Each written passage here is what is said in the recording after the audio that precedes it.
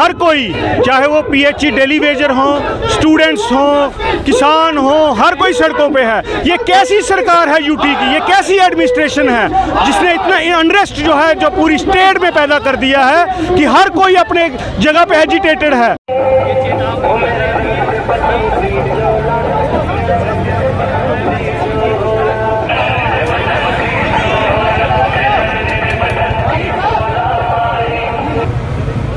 प्रधान साहब भी आ जाए।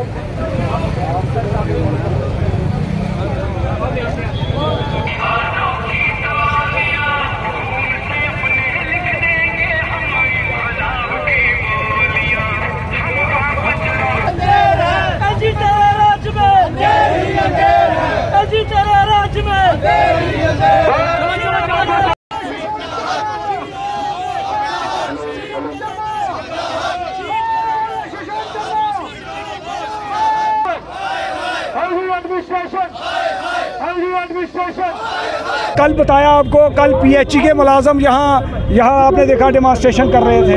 ये किसी की बात नहीं मान रहे हैं। अगर नहीं मान रहे हैं तो उसका आने वाला हाँ आने वाला जो टाइम है वो आपको खुद बताएगा। सभी लोग यूनाइट हो जाएँगे और यूनाइटेडली अपनी डिमांड्स को लेकर के पूरी फोर्स के साथ हम लड़ाई लड़ेंगे ताकि हमारी डिमांड्स जो है ये मानी।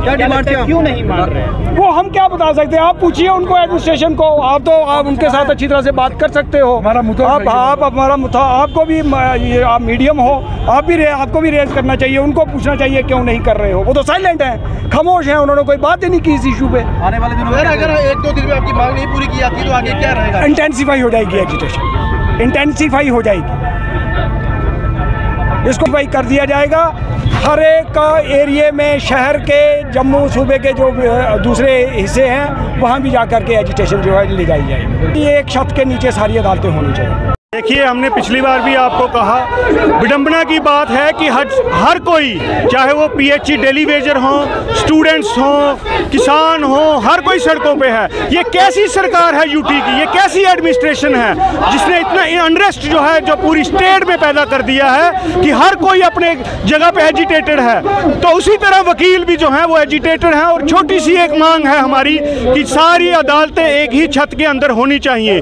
लेकिन कैसी कुंभकर्ण की नींद सोई ये सरकार है कि इसकी क्यों नहीं रेंग रही? लेकिन हमें आता है। और जैसे ही हमारे प्रधान साहब ने कहा कि अगर ये सरकार जल्द नहीं मानी तो हम जम्मू बंद की कॉल कुछ ही दिनों में जम्मू बंद जो है हम आगे ले जाके जाएँगे। For more updates do subscribe our YouTube channel and don't forget to hit the bell notification icon and if you are watching this video on Facebook do follow our Facebook page